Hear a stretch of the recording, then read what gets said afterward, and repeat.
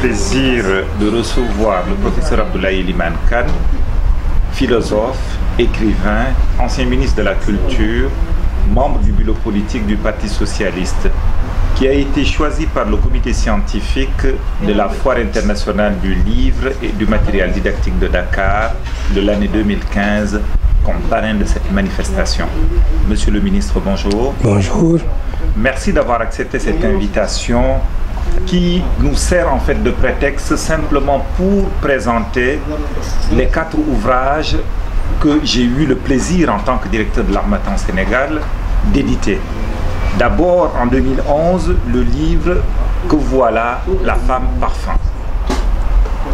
Suivi deux ans après des fameux mémoires que nous avons fait le choix d'intituler Philosophie sauvage, la vie a de longues jambes. Vous n'êtes pas arrêté en si bon chemin. Pourquoi? Parce que l'année suivante, vous avez sorti ce roman, Les Dissidents.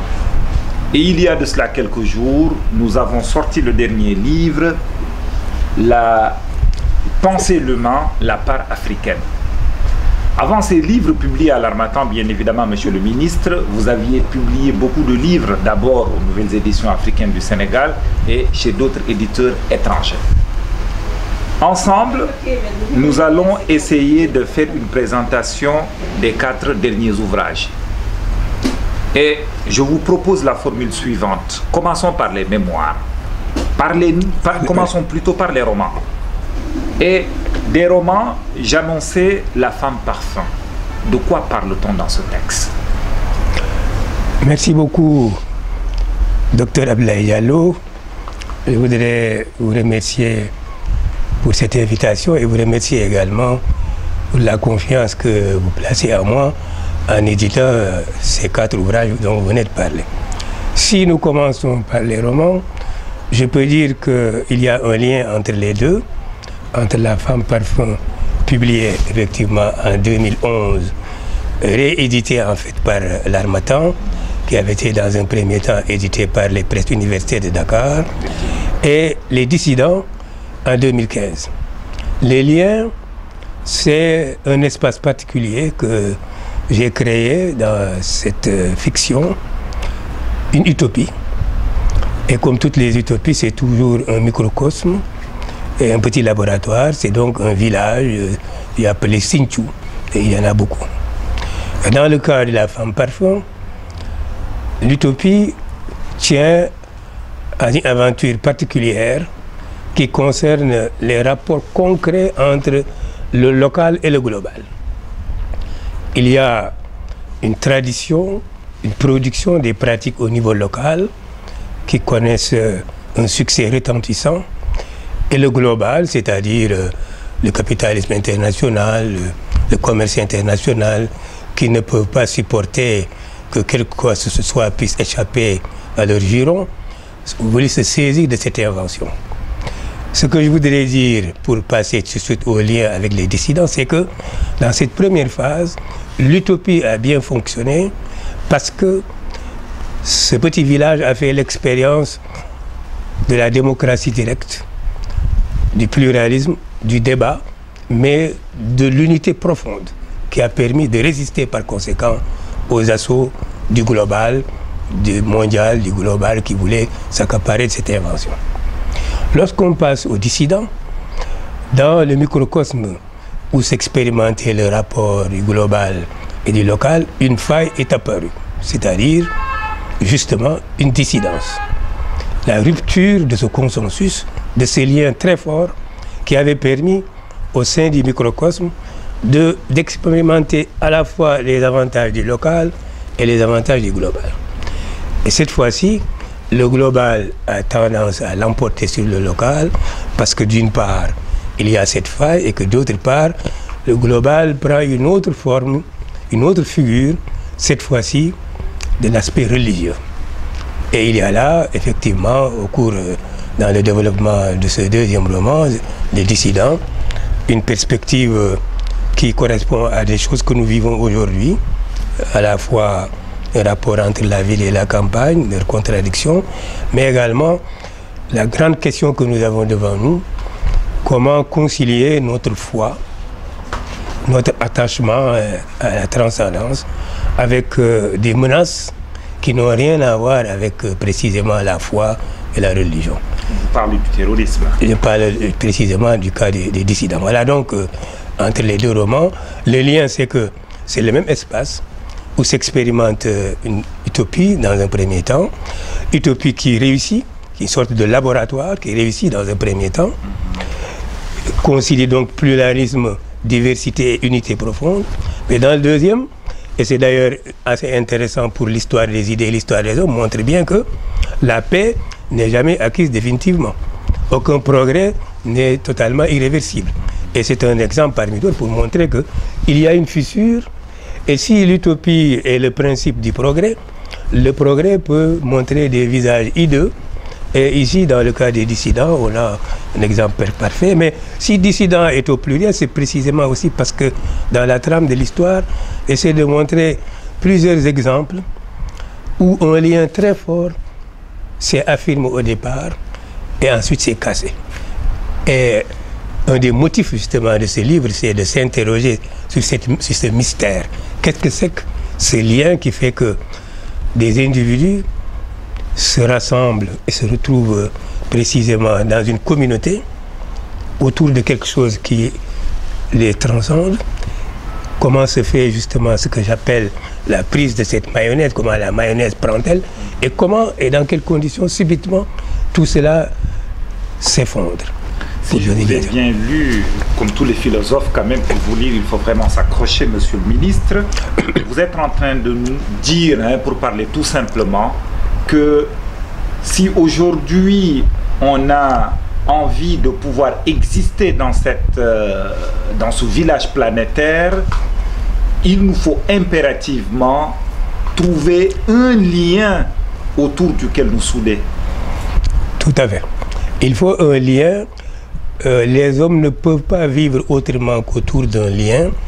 Et tout le problème est de savoir précisément comment se constitue un lien. Dans la famille, c'est un lien.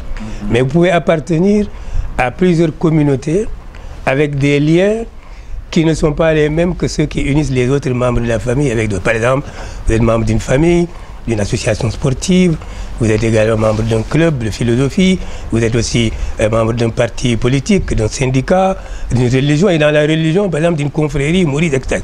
Tous ces liens vous, en faites l'unité, c'est autour de vous que cela se fait, et ça ne vous conduit pas à vous dissoudre dans le néant, vous continuez à être le même individu qui arrive à faire la somme de tout ça, et en même temps, il arrive que ces liens rompent et que par conséquent, vous passez à autre chose. C'est l'exemple précis dans les dissidents, où les personnages font des expériences différentes dans des communautés au sein desquels ils trouvent une unité, une harmonie parfaite. Et pour une raison ou une autre, les liens seront et ils se retrouvent dans une autre communauté. Qu'est-ce qui explique quel est ce mystère, etc.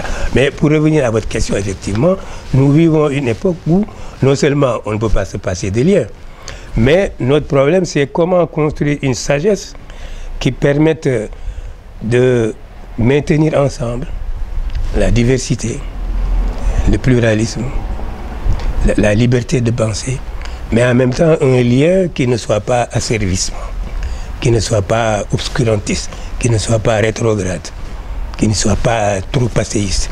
C'est la grande interrogation de notre époque.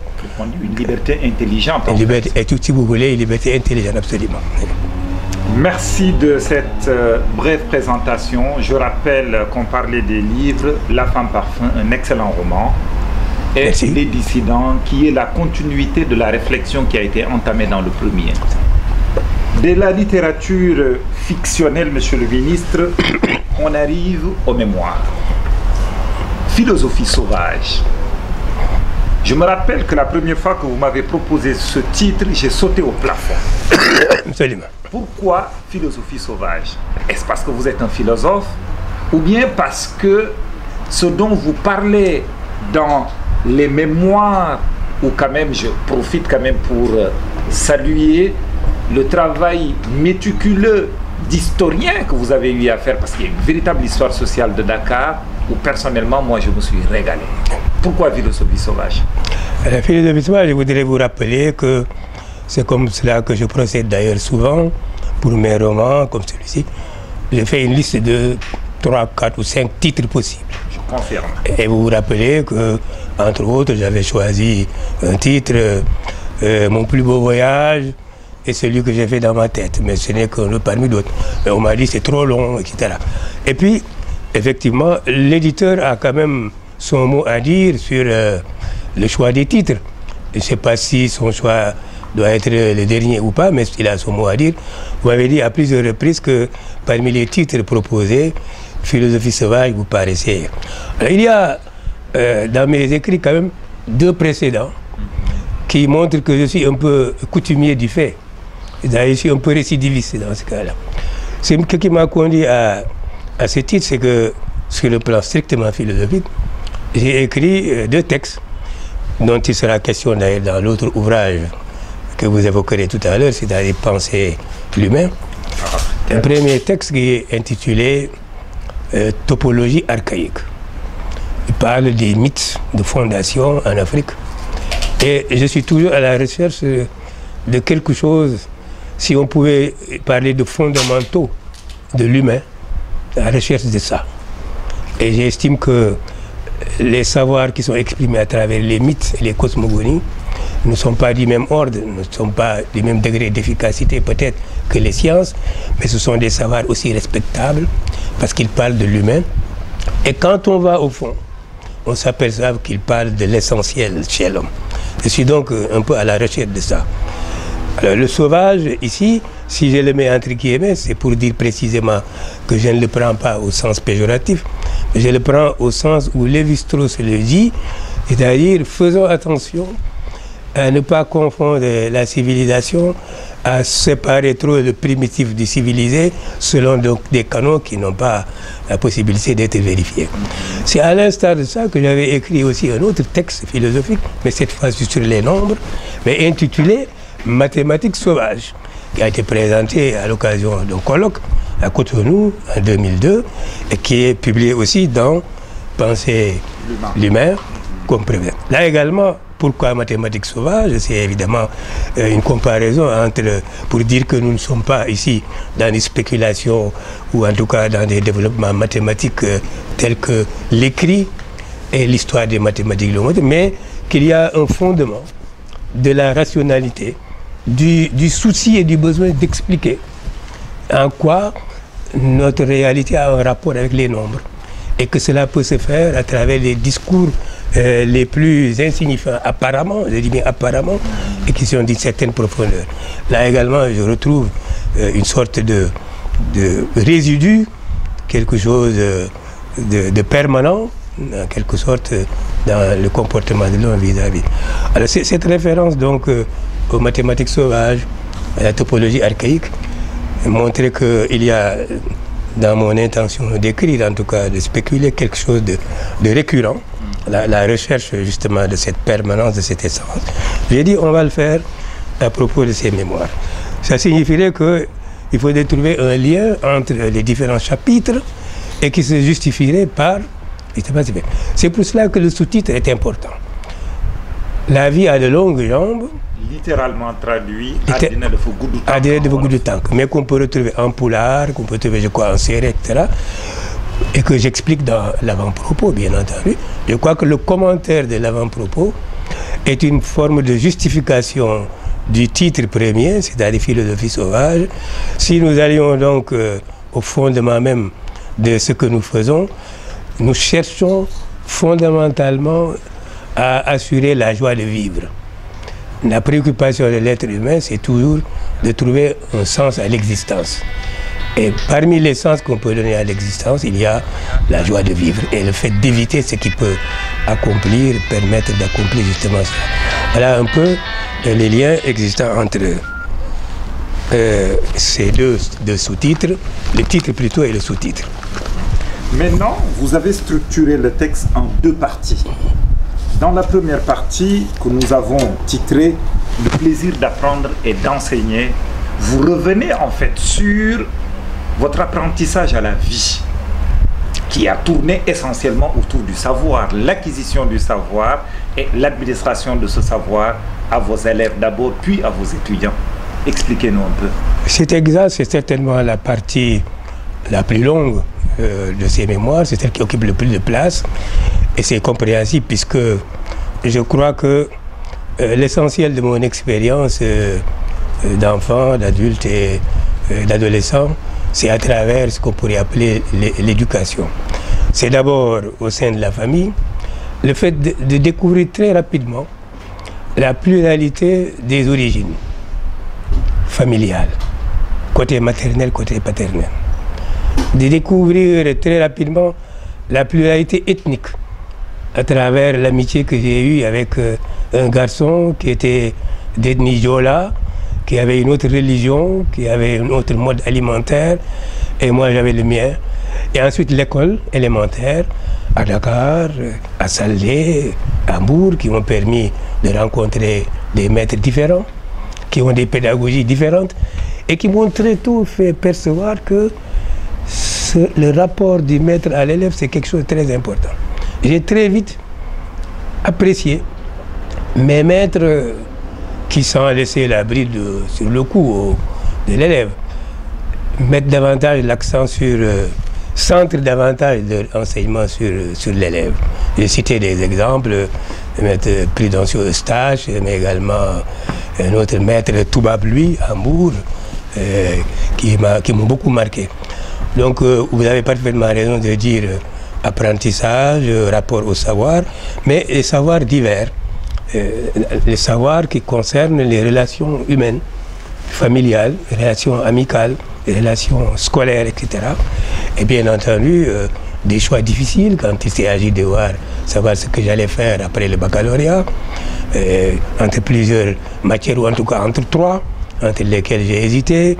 Ensuite, une expérience. Je vais couper juste là, c'est-à-dire dans le choix de la matière à suivre. Comment est-ce que le le Torodo, c'est-à-dire éduqué dans la tradition islamique, s'est retrouvé à faire de la philosophie qui, à l'époque, était une matière considérée comme la matière qui conduirait à la c'est-à-dire à, l'athéisme, à, l'incroyance à Dieu. Expliquez-nous. Tout à fait, je crois que je ne suis pas le seul à avoir connu cette expérience. La preuve d'ailleurs, et je l'ai dit dans, dans, dans, les mémoires, lorsque dans mon village, les gens ont appris que j'avais fait un choix.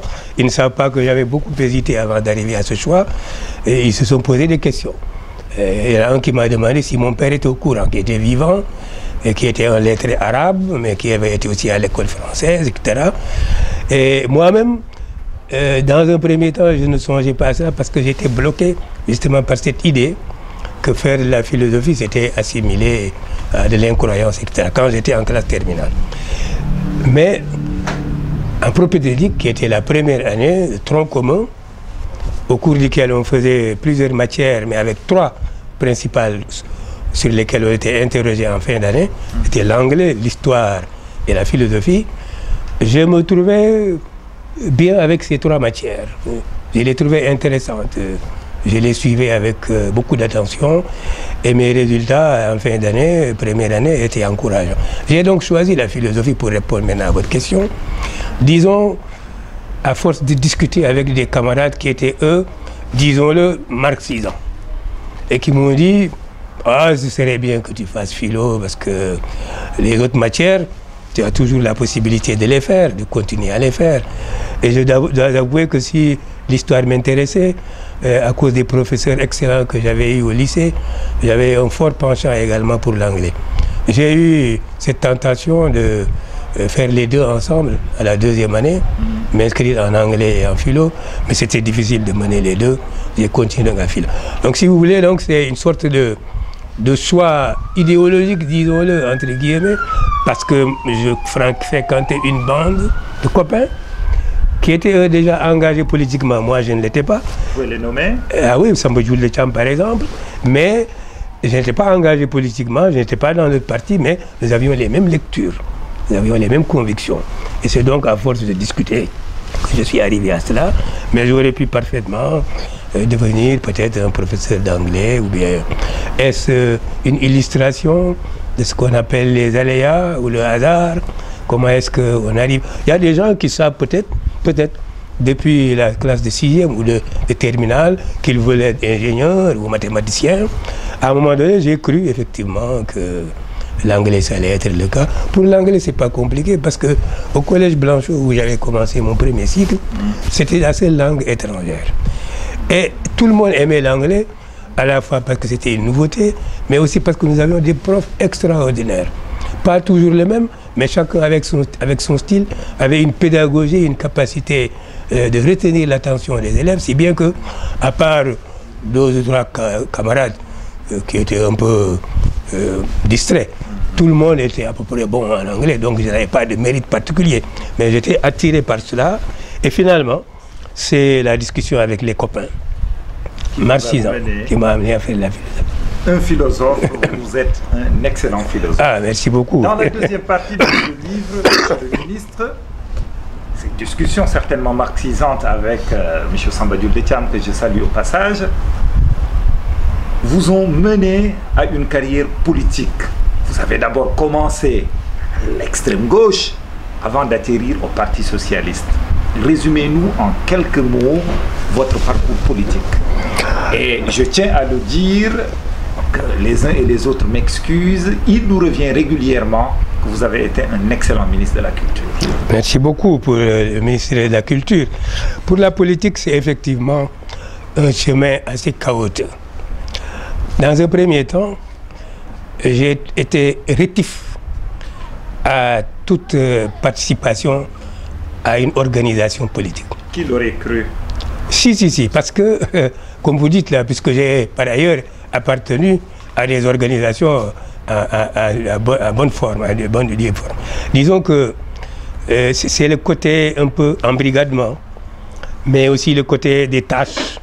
Je voyais mes camarades dont je vous parle là, je voyais passer leur nuit dans les réunions, euh, faire des activités d'affichage, euh, etc. J'étais rétif à ça, j'étais d'accord pour les idées, pour les débats, mais pas pour appartenir à une organisation. Si bien que aucun d'entre nous, d'entre eux ne m'a invité à venir adhérer à leur formation politique. Je n'ai pas, moi non plus, de mon côté, cherché à y adhérer. Je me trouvais assez bien ainsi. Peut-être que je trouvais que j'étais assez occupé par d'autres engagements, par exemple le scoutisme, euh, qui est une association d'éducation des jeunes, qui me prenait pas mal de temps, mais qui avait l'avantage pour moi euh, de euh, d'être précédé par aucun engagement particulier.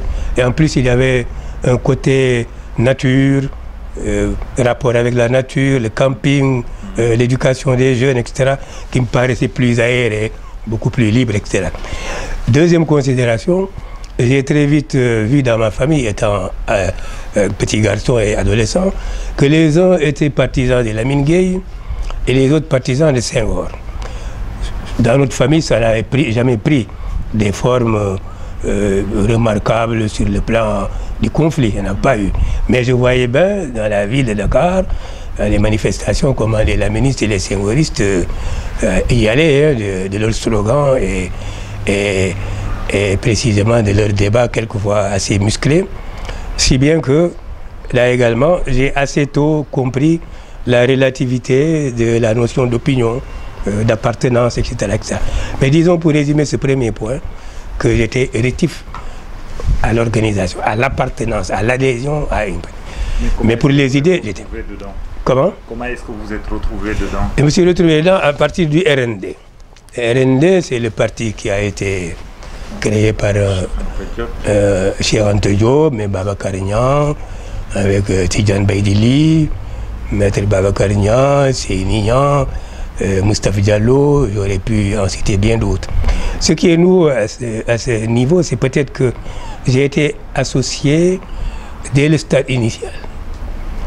Alors que j'étais réticent jusque-là, et parce que j'écrivais de temps en temps dans les journaux, euh, je m'étais fait connaître un peu par quelques critiques qu'il adressait euh, au parti, au président Senghor. Pas au parti d'ailleurs, au président Senghor, ses écrits, parce que c'est un théoricien qui euh, articulait à la fois une reconnaissance de ce qu'il doit à Mars, mais en même temps une distance vis-à-vis de Mars. Et, je me plaisais à, débattre, à commenter cela.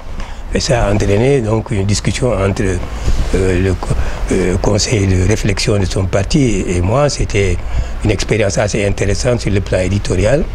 Et j'ai donc été approché par les premiers noyaux fondateurs, initiateurs du RND. Et m'a donc fait comprendre que j'étais au même stade que tout le monde, la réflexion sur ce que cela devait être.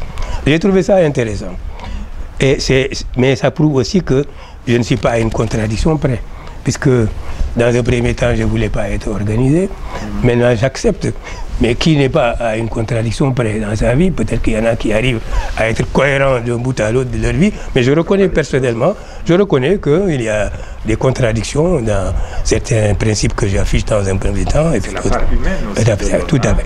Et là, j'ai accepté de participer à une œuvre qui me paraissait euh, tout à fait intéressante, euh, originale, chercher un rassemblement qui puisse fédérer les forces vives du pays et faire face au régime de Senghor qui était tout puissant, qui reconnaissait dans sa constitution la pluralité des formations politiques, mais toutes ces formations politiques qui existaient étaient dans la clandestinité.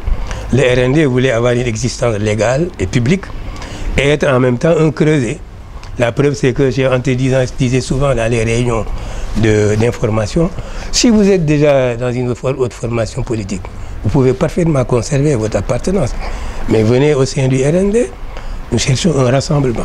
Or, cet aspect de la question, évidemment, avait été critiqué par d'autres formations politiques qui trouvaient que, que ce n'était pas euh, une pensée claire qu'un rassemblement comme celui-là.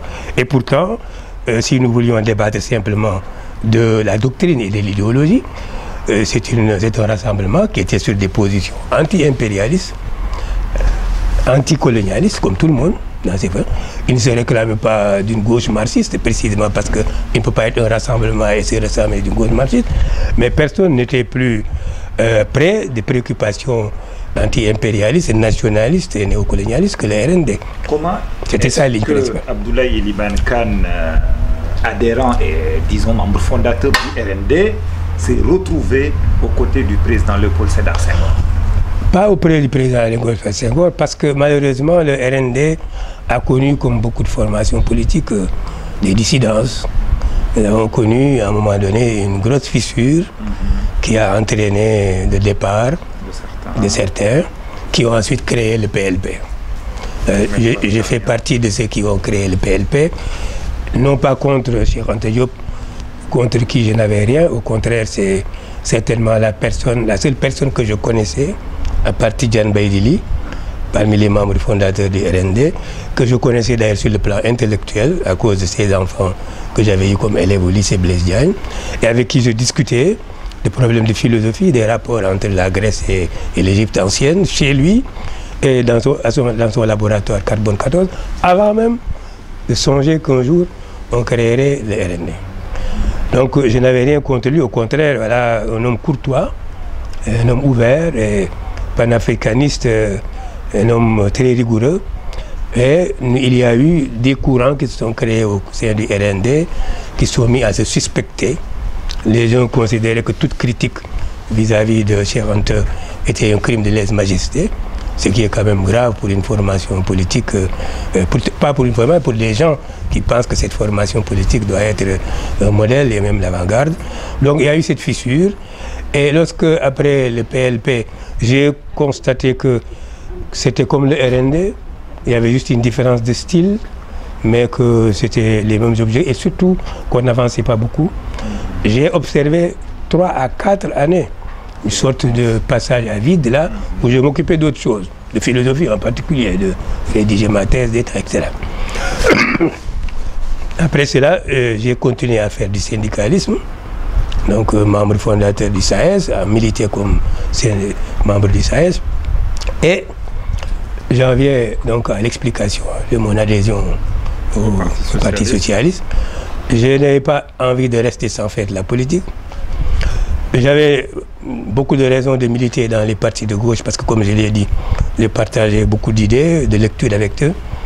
Mais la forme de clandestinité, malgré la reconnaissance après 81 et l'avènement d'Abdou Diouf, ne me convenait pas.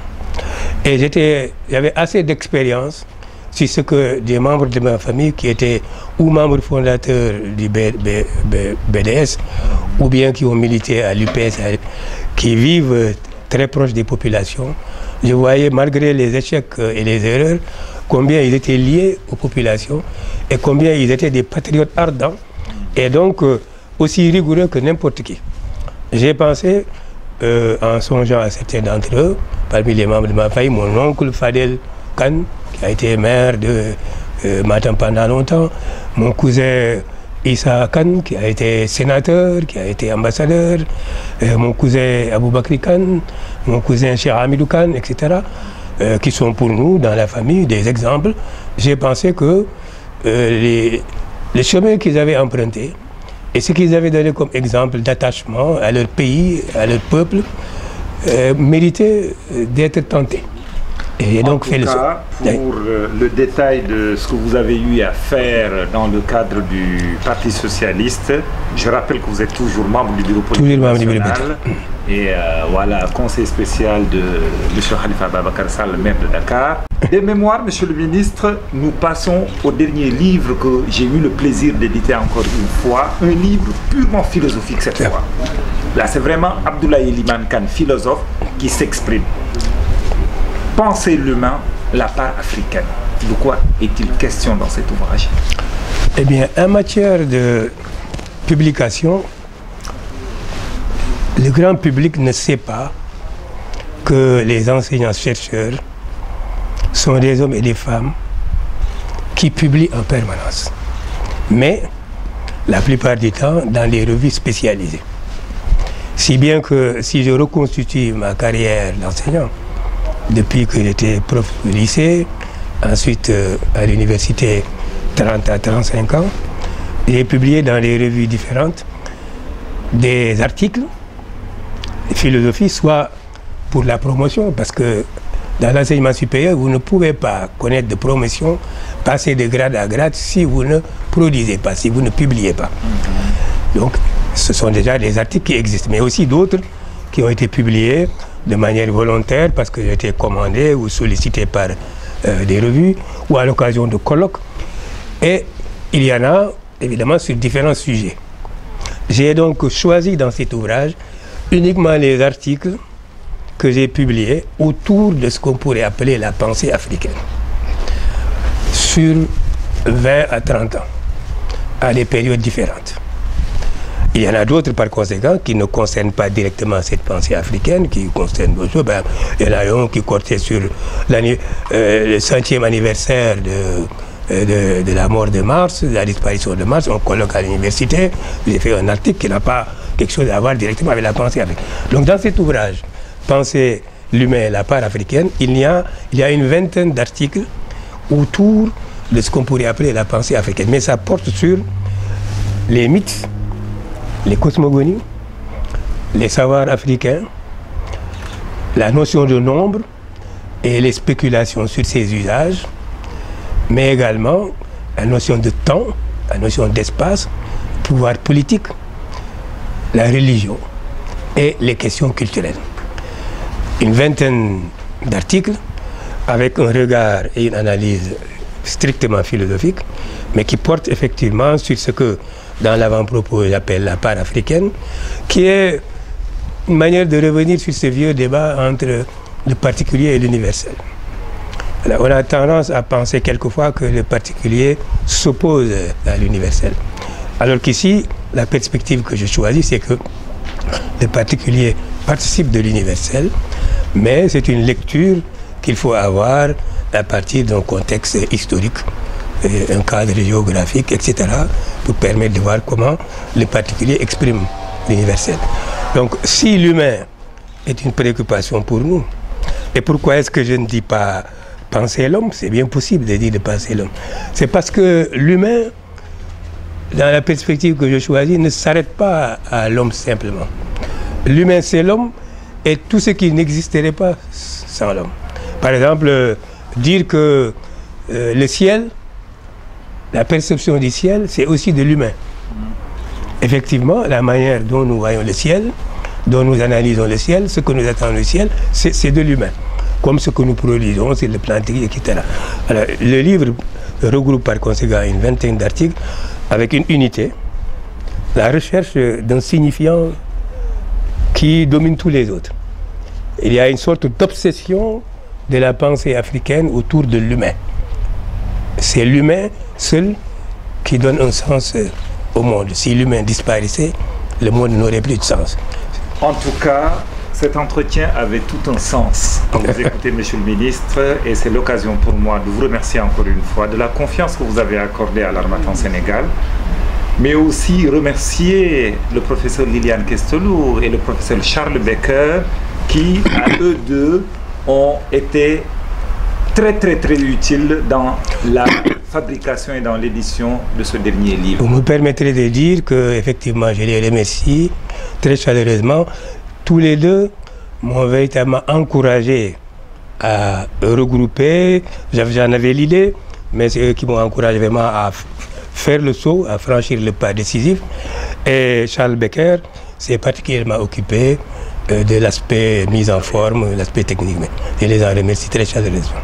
Votre dernier mot, monsieur le ministre, sur les livres que vous avez édités avant que vous ne soyez un auteur de l'armatan Sénégal Ce sont uniquement des fictions. Le premier, c'est un conte pour enfants. C'était sur commande. Ce sont des amis, pendant que j'étais en année sabbatique à Paris, qui travaillent dans une maison d'édition que vous connaissez bien, Bayard, qui a une section littérature enfantine et en particulier une collection qui s'appelle J'aime lire. Et ils m'ont demandé de faire un conte pour enfants. Ça s'appelle donc Le Prince Malade. C'est peut-être ce qui m'a donné l'idée d'aller un peu plus loin ou de continuer en tout cas dans la fiction. C'est ainsi donc que j'ai publié après cela La Maison au Figuier, qui est également une manière de trouver un lien avec les mémoires, c'est-à-dire pour un garçon de 10 ans qui découvre pour la première fois seulement le monde de la vallée, après avoir été dans la période précédente un petit citadin, et qui a été fortement marqué par toutes les représentations du monde rural, du monde aquatique ou subaquatique, et qui imprègne fortement justement ce premier roman, La Maison au Figuier. La Maison au Figuier a été suivie par les magiciens de Badagor, et là, je dois dire que c'est la poursuite un petit peu euh, d'un lien avec mes préoccupations philosophiques. Dans la maison au figuier, c'est le télégraphe et l'école qui sont au cœur des nouveautés qui entraînent parfois euh, des dissensions très profondes entre les populations. Dans les magiciens de Madagor, c'est l'ordinateur. Je dois dire que lorsque j'écrivais les magiciens de Badagor, les trois quarts des Sénégalais ne savaient pas ce que c'est qu'un ordinateur. J'ai pu le faire uniquement parce que j'avais un ami connu à l'université, un grand basketteur qui s'appelait Bouba qui travaillait à IBM sur l'avenue Room qu'on appelle ainsi l'avenue Room qu'on appelle maintenant l'avenue Léopold Sédar Senghor et qui me faisait visiter IBM et je voyais pour la première fois à l'époque ces grands ordinateurs qui pouvaient occuper une pièce et l'idée m'est venue de confronter cela avec euh, la pensée magique. Un peu c'est ça les magiciens de Balagor. Et les liens maintenant avec les autres romans et surtout avec euh, euh, La femme parfum et ensuite Les cinq secrets de mon père, etc., c'est que les magiciens de Balagor aboutissent sur un drame, un couple se noie, et puis on le retrouve dans le roman suivant, il a reçu, il n'a pas été emporté par les eaux, il a créé un village. Il fonde un village et il repart à zéro. C'est donc là le début de ma fiction, de mon utopie dont je parlais tout à l'heure. Repartir à zéro et utiliser ce principe de l'utopie pour voir comment cela peut engendrer le progrès, c'est le début d'une sorte de trilogie qui nous conduira justement à Femme Parfum et au dissident. Voilà les liens. Donc si je récapitule, il y a eu Le Prince Malade qui est un conte pour enfants, et comme roman, La Maison au Figuier, Les Magiciens de Badagor, Marquéré, Les Cinq Secrets de mon Père, et ensuite il y a eu La Femme Parfum. Et parlant de nouveautés, nous sommes actuellement en proie à cet outil qu'est l'Internet. J'ose espérer que vous allez bientôt nous sortir un roman autour de l'Internet. Merci à tous. Et merci à vous, Merci beaucoup, Seigneur.